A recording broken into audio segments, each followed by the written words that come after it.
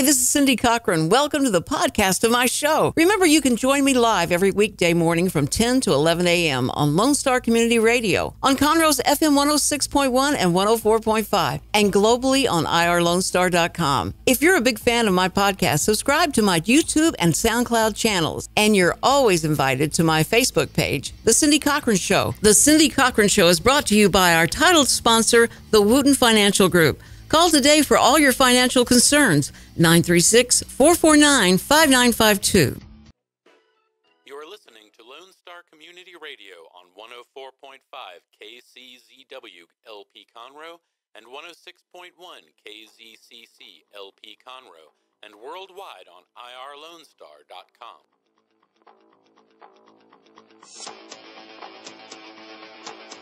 Good morning, everybody. Good morning, good morning. It is Tuesday.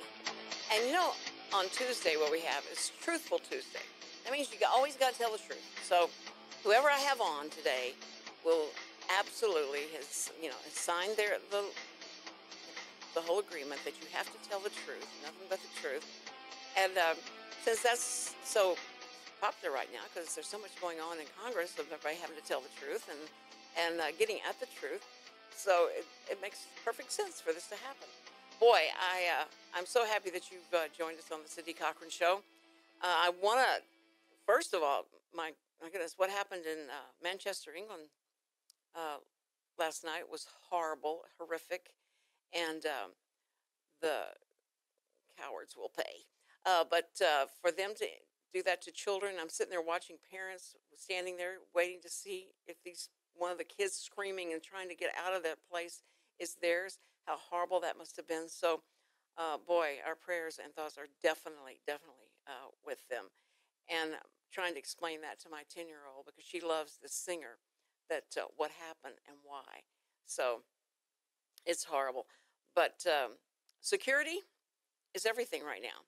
And what a great uh, segue to who I have with us for our first segment is John Petty. John has been on before, and we had so much fun with John uh, about all of his uh, his stories and uh, background. He is uh, one of the owners of Texas Technology.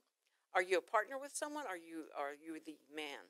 I'm a partner. Okay, okay. Well, we want to make sure that uh, we don't give you all the credit. That's right. But uh, John, welcome to uh, the Cindy Cochran Show again. Thank you. I'm happy to be here. I'm so glad to have you back. Um, we uh, we talked about a lot of things that uh, his company does. They're right here in uh, in Conroe on 105. I mean uh, 75. Is it Correct. 75? Yeah, 75.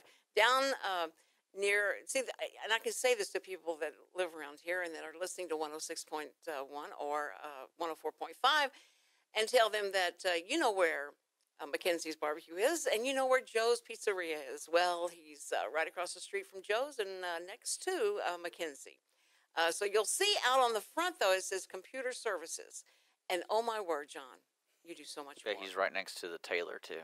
The tailor. Yeah, and the Yeah. tailor's been there 34 years. So Yeah, I'm he's- actually going there today. Oh, are you? Oh, stop by and say hi, and he'll tell you stories that will raise the hair on your hair arms. It's just amazing uh, what he can tell you, but he can't do that over the over the. Do you know radio. him? Who? John? Oh, I think you're talking about the tailor. Oh no no no. He's an interesting guy, that's for sure. He is. I don't know how, mu- how much interaction you've had with him, John, but Oh, but John is uh, John. I mean, he's got stories to tell. But uh, they, he is. Uh, how long are you with the uh, Navy and doing IT work for the Navy? I was in the Navy five years. Um. My last tour was in Guam, and I was the information systems security manager for the island, For the whole i- for the whole island. for the whole island, and because I I got my history, I mean my geography lesson where Japan is in compare, you know, to where where you were, and we were just talking about how uh, what all you had to do, what all was happening at that time, and that was how many years ago? Long ago was that? Ooh, it was quite a bit. Back was- in uh, 2000, 2003. Okay. Oh, to me, that was just yesterday. What are you talking about? I were going to say like 1948. I was there in Guam, and uh, no, but that uh, you've uh, you've seen so much. You've seen the rise of technology even from that point, right? Oh, yeah. Things that people can do and get into. But at that point, when you were working with uh, with the Navy, you uh, you've got a lot of behind the scenes and uh, things that. You know, you'd have to kill me if you tell me, right? There's a lot of things that you had to be, have clearance to, to be able to uh, to do to keep everybody safe and secure and not let people hack in, right? Oh yeah, I mean I had a top secret clearance. That's always fun for your neighbors too, because when you go to get that, the FBI starts calling your neighbors and your family. Oh wow! To to make sure you're a good guy. Yeah, then they start calling you and say, uh, "Why is the FBI calling me?" Yeah, you know, and think about that. You know, you're getting clearance, but it probably scares them to say this on their on their ID, their caller ID. What? Who's calling me? what?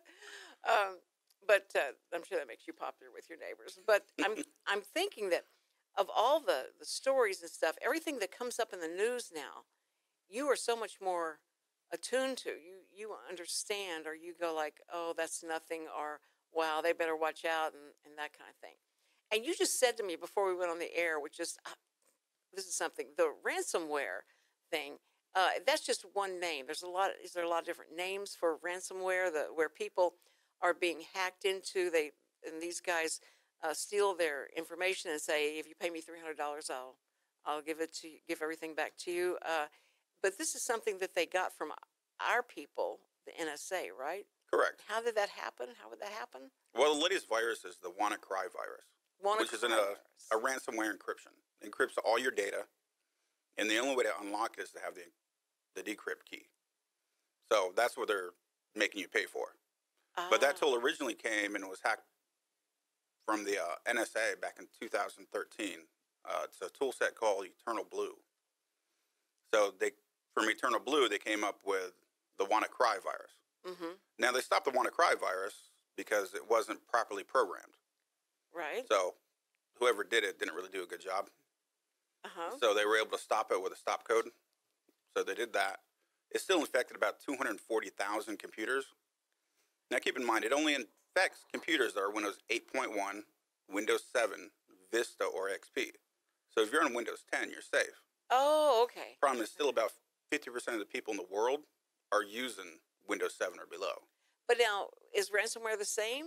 I mean, if you have ten, you're okay, or or even if you have ten, is the ransomware different? Is it more effective? Is it stronger, or is it the same thing? It's different. That one does not infect 10. Okay. There's already a security patch in place, and actually, uh, Microsoft came out with a security patch about two weeks ago for the WannaCry virus. But Oh. again, you got to do your updates. You've so, got okay. Now, see, that's what I, I I would listen to the stories and I would listen to these interviews, and they and the thing that was always said at the last, like, well, what do we do? What can we do? How can we protect ourselves? And it says update. yeah, you got to have your updates in. See, and every time one of those little things come up, that just I go like, shut up! I'm too busy. I don't want to do this kind of thing. And most people do. And that's the problem. well, Yeah, in Windows 7, you can shut updates off. Windows 10, you can't. That's one thing, John. I wanted to mention to you as a business, it's it's okay to have that option where it just updates you all the time, but we like to deactivate those because of like we're always running the music, for example, Right. and we're using Windows 10, and I get a message that we're down, and I was like, "What what happened?" Well, this this update was so crucial that they they didn't really care. They like they just wanted you to have it immediately, and it takes. We were down for about seven minutes for the full install because it it redoes everything on the computer. So and then it it's- restarts your computer. restarts your computer, and it was just really funny because I was like, I wish I could turn that off, but I know how to update because we schedule all. We have about six computers that we use here, and I usually do a schedule update for all of them at the same time. right. You can actually set it to where uh, if it knows you're during working hours, Mhm. it won't do an update. It'll wait till after that to do the restart. And Well, I system. just I just like to be here when it does happen because sometimes it doesn't come back on. Oh, yeah. And uh, yeah, I really hate Windows 10 for that. You get the the only way to not do it, you have to pay a lot of money to get the uh, enterprise. I think it's either the enterprise version or it's the bit the most highest version you can get. Yeah, that'd be enterprise. Yeah, the highest version. You don't have you can you can turn it off. So Yeah. you, you can't override it. Nope. It's it, Oh. it's required. Okay. Well, in one way, that would certain answer the problem that I have, and everybody else, as you say, uh, does the same thing I do. Like that's too inconvenient. And it's so funny how the options they give you more and more options. Okay, well, well, what if while you're sleeping we could do this? You know, and I go like, no, I could, you know, I, and I'll push no because I'm thinking I may wake up and want to use my computer, and then it's off because you're you're doing something to it. Right. And so it keeps asking, like, well, how long do you go to the bathroom for? Maybe we can get something done during that time. I mean, it's just like stuff that they ask and try and get in to do that. But but what I love I love about your knowledge and what makes me feel secure about going to someone like you to get to do the things I need to do for my own security system at home, uh, because you you guys install uh, the outside security, inside security, or both, or whatever, the cameras, Correct. And all that, and and even the uh, the where you can go up and you someone rings your doorbell and you can talk to them from wherever you are and say, uh, you know, nobody's home. I don't. I'm not. Uh, I'm not uh, taking any uh, thieves in today. so you just uh, you just watch out. My dog's coming, or whatever it is that they want to say to them to make them think they're in the house or whatever. But you can do that. You can install that. You know that system. Correct. Is that system so easy now that people are doing it themselves, or do you still need an installation from a Well, I mean, you got a lot of people doing it themselves. Mhm. Um, then when they get stressed out, then they'll call somebody. so you know the the call is coming. but we are licensed and insured, so um, it's a lot better to go with somebody like that. Right. You can right. find people online that will do it for a lot cheaper, but you Mhm. got to watch where you're getting. Right. And uh, well, I'm I'm so glad that you're here. I mean, to have someone with your knowledge and your background, and that we're here, and that here we can come to you with with our problems. Now, you know, what's the weirdest problem? Someone comes up with their. They come and bring your computer, and they put their computer. I mean, bring their computer and sit in front of you and go like, "This won't do this or this won't do that." How how crazy can some of the requests be, or can you even understand what they're trying to tell you is wrong with the computer? Well, yeah, I mean, for the most part, people put a password on them and they forget what it is, and they need the password cracked. Or um, one thing we've been getting a lot lately on Windows 10 is it will do the updates automatically, Mhm. and then there's a software that hits a an issue, and then the system won't even boot back up again. Then we have to completely wipe it and reimage the whole thing. Oh my word! And that's with ten. Yeah, So I've gotten some of the ransomwares in too. We've gotten a couple that where they've came in with to get cleaned ransomware in it? Yeah. Ah, Now with the like I said with the Wanna Cry, there was some issues, but Yeah. the new one, which is called Eternal Rock, that one, whoever programmed that, they did it right. oh, So it doesn't have the same flaws or issues. So if you get that one, you're a little more out of luck. okay. I got okay. hit with the ransomware. You got you did? I've I've Okay. been hit with ransomware. I know the the tech guy got hit with it. I was uh, oh no! it was right after I did my taxes for the first time, and so I didn't really know if I did it right or wrong. And I get an email saying, you know, we have an issue with your taxes. Mhm. Please review. Click this link, and I, that's that's what got me because I was like, Uh-huh. I was nervous. I was like, oh man, I really probably did something wrong. And uh, luckily, I do everything in the cloud. Right. Our family has a, our own cloud server, and so I was didn't really affect me. I just reinstalled Windows and got all my stuff back. So Right, and that's the best way to do it. So The best way to fight that is to have a good, up-to-date backup of your system that Mhm. Not connected all the time. Because if it is, then it's going to get infected just as well. what what do you like to do for backup? Just curious. I use a backup drive. I'll back my system up at least once, twice a week, and then unhook the drive and have it. Would you use the Windows like because Windows comes with an automatic backup where you can like set up a hard drive, tell what files to do, and then it yells at you if you unplug it. Exactly. Uh, but I use that for like my music and I use it for my photos and stuff. But I only plug it in every once in a while when I know I'm not going to be running anything because it does slow down. It seems to slow down a lot of stuff. well, yeah, it's It's backing up. using so- all that stuff to back up your files, and you can normally set it for like a Saturday or a Sunday night when you know you're not going to be on the computer. Yeah. To start at like 1 a.m. or 2 a.m. Do you So- use any cloud services? Yeah, we actually do quite a bit of cloud backups. So, like, which one do you usually like? Because, like, my for example, my brother has I forgot what he called it. But it's their own server. It's like a oh, it's a Linux based, cloud based. Like it's just you can set up your own little server. It's oh slow, yeah, I mean, but it's not like Google or OneDrive, which is pretty dang fast to to sync with and stuff. yeah, I mean, OneDrive is owned by uh, Microsoft, so that one's going to be pretty good. A lot of people I know use Dropbox. Um, Carbonite is a good one. They're pretty costly on space. Um, right now, I know Microsoft put a lot of money into their cloud services, which is called Azure, A Z U R E. So they're putting a lot of money into that and doing a lot of cloud-based applications, virtual desktops, Mhm. stuff like that.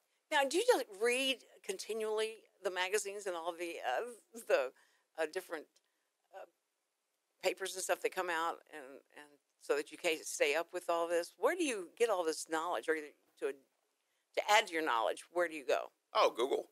You just go to Google and and search that. I've learned a lot of what I've learned from Google.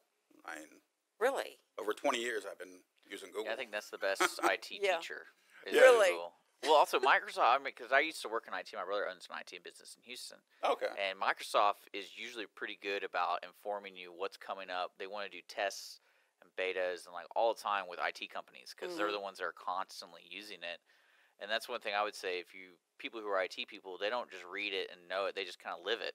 So they Yeah. understand where the new things are coming, what's working, what's not working. Because I think like before OneDrive, it was SharePoint, and SharePoint servers were a big deal for businesses, and they Right. kind of took away SharePoint and made OneDrive, and then they have OneDrive for Business, and then it's like you can use Word, all that stuff online now, Mhm. and it's all cloud based. See, So